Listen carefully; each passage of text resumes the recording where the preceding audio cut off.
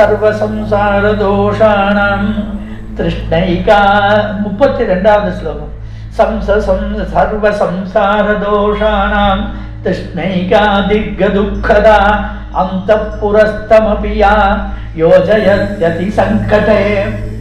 முப்பத்தி ரெண்டாவது அதான் ஒண்ணுல பதினேழுல முப்பத்தி ரெண்டு அதான் ஒன்று பதினேழு முப்பத்தி ரெண்டுன்னு இருக்கா பாருங்க. சர்வ தோஷானாம் எல்லா இந்த சம்சார பந்தங்கள் சம்சார வாழ்க்கையினுடைய தோஷங்கள் அத்தனைக்கும் காரணம் எதுன்னா திருஷ்ணா ஏகா திருஷ்ணா ஆசை ஒன்று தான் காரணம். இதுதான் இவனை திரும்ப திரும்ப திரும்ப சம்சார பந்தங்கள்ல சிக்க வைக்கிறது. இது எப்போ வேற எதுவுமே இல்லை அது சர்வ சம்சார தோஷானாம் திருஷ்ணா ஏகா. இது எப்படிப்பட்டனா தீர்க்க துக்கதா. துக்கதான்னா துக்கத்தை கொடுப்பது. தீர்க்க துக்கதான் அது அடைஞ்சாலும் துக்கம் அடையாவிட்டாலும் துக்கம். அதனால தீர்க்க துக்கதான்னா இந்த துக்கம் போகவே மாட்டேங்குது. சரி அடைஞ்சாச்சே. சௌக்கியமா சந்தோஷமா இருக்கலாமோன்னா தீர்க்க துக்கதா அந்த புற சரி இந்த ஆசை எங்க இருக்கு சொல்லுங்களேன். ஏன்னா நீ கண்டுபிடிச்சியா? இத்தனை என்னமோ கட்டிச்சா வாய்க்கு வாய்கிலேயே பேசுறியே வசிட்டர் கேட்டா. இவ்வளோ பேசுறியே இந்த ஆசை எங்க இருக்கு தெரியுமா? அப்படின்ட்டா தெரியும் நான் ஒருவேளை நான் கொஞ்சம் ஆராய்ச்சி பண்ணதில் இருக்குன்னா நான் எங்க நான் அந்த புரஸ்தமபியா எல்லாருக்கும் ராஜாவோட ராணி எப்படி அந்த புறத்தில் இருக்காளோ இது எல்லாம் அந்த புறம் அந்த புறம் என்ன? ஹிருதயத்தில் இருக்காது அந்த புறம் அந்த புறத்தில் இருக்கா. இது அந்த கண்ணம் உள்ள உள்ள தனியாக இருக்கு. அது அங்கேருந்து கமெண்ட் பண்ணுறது அது ஆசை என்ன பண்றது?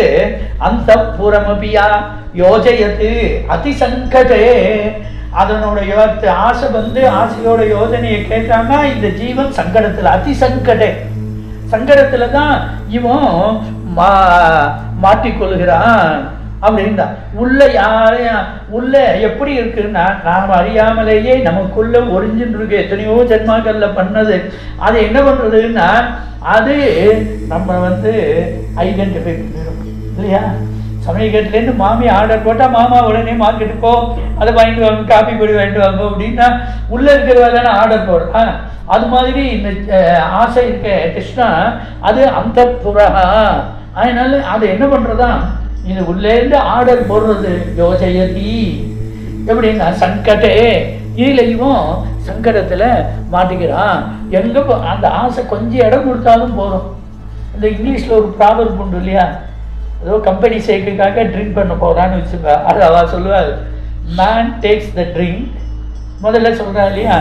அப்புறம் ட்ரிங்க் டேக்ஸ் த ட்ரிங்க் மூணாவது ட்ரிங்க் டேக்ஸ் த மேன் அப்படின்னு முடிஞ்சு போயிருந்தது ஏதோ கம்பெனி சேர்க்கைக்காக ஃப்ரெண்ட்ஸோட சேர்ந்துட்டான்னு பழக்கமே இல்லாதவனுக்கு பழக்கத்தை பண்ணி கொடுத்துட்டான் அதுக்கப்புறம் அந்த வாசனை பிடிச்சி இழுக்கிறது. ரெண்டு நாள் அவனோட போனதும் மூணாவது நாளைக்கு அவன் அவன் ஃப்ரெண்டு இல்லாமலே இவனே போயிட்டான் அப்புறம் கடைசியில் அது இல்லாமல் இல்லை இருக்க முடியாதுங்கிற நிலைக்கு வந்து ட்ரிங்க் டேக்ஸ் தி மேன் அப்படின்னு ஆயிடுறது.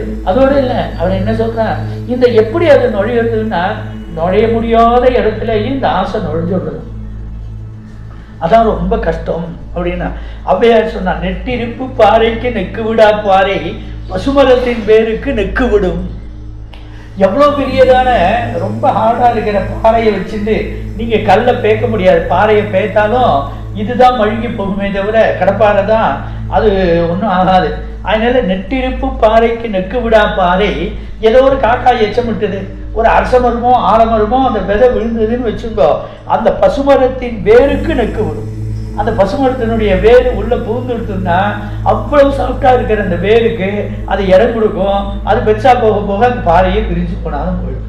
இவ்வளோ கட்டப்பட்டு இரும்பு பாறையினால உன்னால் தகர்க்க முடியாது.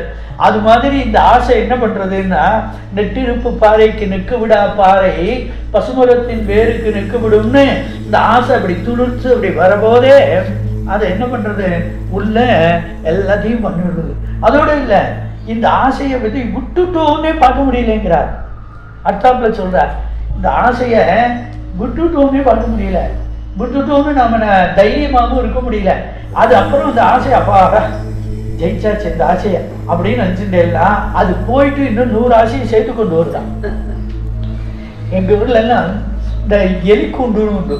எலியை வந்து உயிரோட பாவம். அதை அந்த உயிரோட பிடிக்கணும். நம்ம அதை ஜீவகிம்சை கூடாது அப்படிங்கிறதுக்காக எலி பத்தாரு அதுக்குள்ள வச்சு ஒரு மசாலா வடை அந்த மாதிரி வச்சு அது எலி அது போய் அதை வச்சு இழுக்கிற போது படக்குன்னு கதவு மூடிட்டுரும் உள்ள மாட்டிட்டுடும். அதை என்ன பண்ணானா இவன் இந்த மாமா என்ன பண்ண சரி இது வந்து அது ரொம்ப தூரத்துக்கு கொண்டு வரணும் அப்படின்னு ரெண்டு நாலு தெரு கிராமம்னா நிறைய குளமெல்லாம் இருக்கும். அதனால நாலஞ்சு தெரு தாண்டி ஊர் எல்லையில இருக்கிற ஒரு குளத்துல கொண்டு போய் அது அமுக்கி விட்டுட்டு வந்துட்டார். இதை விடுறதுக்கும் இஷ்டம் இல்லை கொல்றதுக்கும் இஷ்டம் இல்லை அங்கே கொண்டு போய் அந்த குளத்துல விட்டுட்டு குளத்துல அது என்ன மணி நேரம் திறந்தாக்க அது படான்னு தாண்டி குதிச்சிடு விட்டுட்டு அதுக்கு வந்துட்டார்.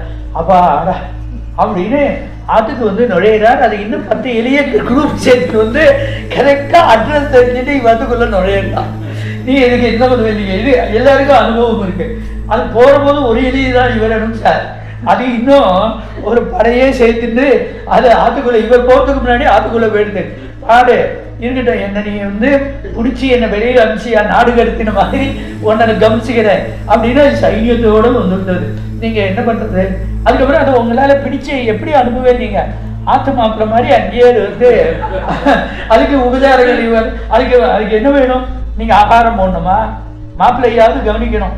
அதுக்கு வந்து நீங்கள் ஒன்றுமே வேண்டாம். அது நீங்கள் என்ன இப்ப உங்க உங்களை கேட்டுட்டா அது வந்து நம்ம வந்து சாமான்லாம் எடுத்துக்க போகிறது அது இஷ்டத்துக்கு அது நம்ம சொந்தத்தில் கூட நம்ம உரிமையாக அவத்து பையன் கூட எடுக்க முடியாது. அந்த எலி சொந்தமாக வந்து ஆமி பண்ண வச்ச பட்சணங்கள்லாம் அது மாட்டுக்கு இஷ்டத்துக்கு அது போய் எல்லாத்தையும் சாப்பிட்டோம். அது தானியங்கள் இருக்கு எல்லாத்தையும் அது சாப்பிட்றது அது.